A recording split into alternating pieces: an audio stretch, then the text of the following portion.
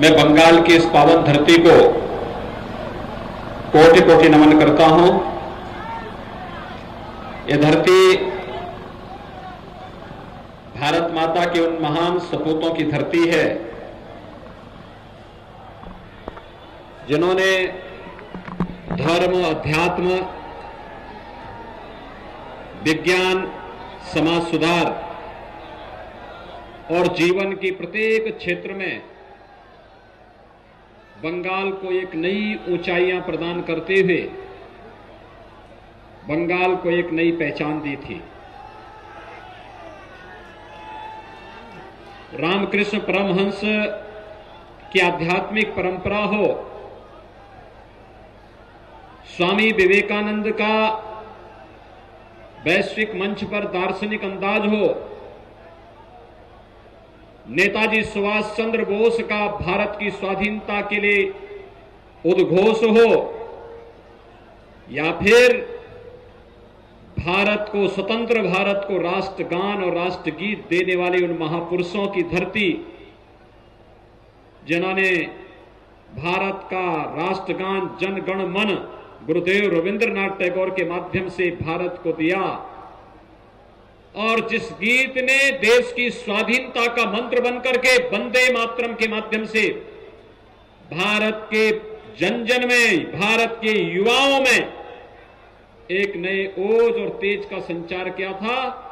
ऐसे बंकिम चंद्र चट्टोपाध्याय की इस पावन धरती को महान समाज सुधारक राजा राम मोहन राय की इस धरती को एक लंबी श्रृंखला है महापुरुषों की। जिन्होंने बंगाल की धरती से उद्घोष किया था और पूरे भारत के अंदर वह आध्यात्मिक, सामाजिक परिवर्तन की वह लहर दौड़ पड़ी थी। इस महान धरती को कोटि कोटि नमन करते हुए मंचस्थ भारतीय जनता पार्टी के पदाधिकारियों समेत आप सभी जनता जनार्दन का मैं हृदय से अभिनंदन करता हूँ, स्वागत करता हूँ। देश को एक नया संदेश देने वाली धरती रही है। आज वहाँ पे हताशा और निराशा क्यों है? जहाँ के नौजवानों ने देश की स्वाधीनता के लिए बढ़ चढ़ करके भाग लिया हो, वहाँ का नौजवान रोजी और रोज़गार के लिए प्लान करने के लिए क्यों मजबूर है? हताश और निराश क्यों बैठा हुआ है? दस वर्षों का कार्यकाल दिया था बंगाल की धरती ने दीदी को। लेकिन ममता दीदी, आपकी सहानुभूति कहीं नहीं दिखती है यहाँ के युवाओं के प्रति, यहाँ की बहन बेटियों के प्रति, यहाँ के किसानों के प्रति, यहाँ के विकास के प्रति। हाँ, आपकी सहानुभूति दिखती है, वह सहानुभूति है। टीएमसी के गुंडों के प्रति जो बंगाल के प्रत्येक नौजवान का कार्य कर रहे हैं, किसानों के हक को छीनने का कार्य कर रहे हैं,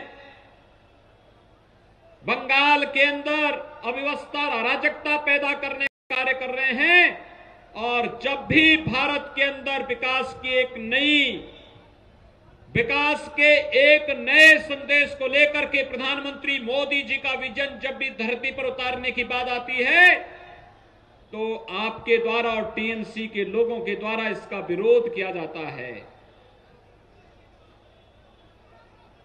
सीएए कानून के अंतर्गत आपने देखा होगा कि सीएए को लागू करने के लिए जब कानून बनाया गया तो भाइयों बहनों उस समय जो आंदोलन हुए थे, जो हिंसक वारदातें हुई थी टीएमसी के लोग हिंसा को भड़काने वाले तत्वों का समर्थन कर रहे थे। उत्तर प्रदेश में हम लोगों ने सीए की हिंसा में शामिल लोगों के पोस्टर चस्पा किए और उन्होंने अगर कहीं सरकारी संपत्ति को या निजी संपत्ति को नुकसान पहुँचाया तो उसकी वसूली भी उन्हीं लोगों से करने का काम हम लोगों ने उत्तर प्रदेश में किया। है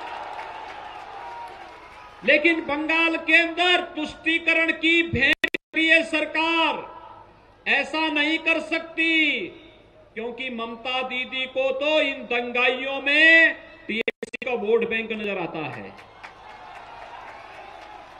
हमने दंगाइयों में वोट बैंक नहीं देखा।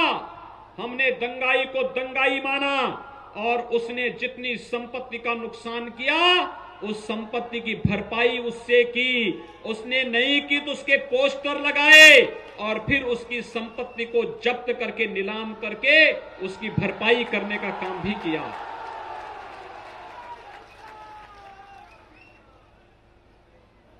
माँ की बात करती है दीदी।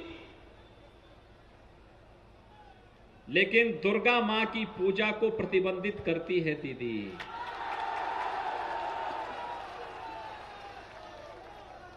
माँ सरस्वती की पूजा को प्रतिबंधित करती है दीदी।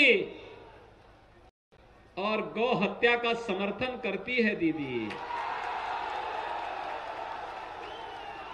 भाइयों बहनों, उत्तर प्रदेश में कोई गौ हत्या नहीं कर सकता। और अगर करेगा तो जेल के अंदर जाएगा